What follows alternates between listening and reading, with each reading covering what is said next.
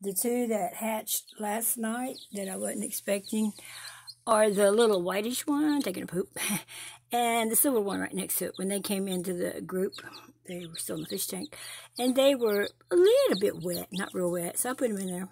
Then I had to stand and watch because the other ones wanted to be mean to them, bossy, and walk on them. But anyway, so those two still kind of hang out. There's the little silver one. He's cute, huh? He's not all silver. But he was real silver wet.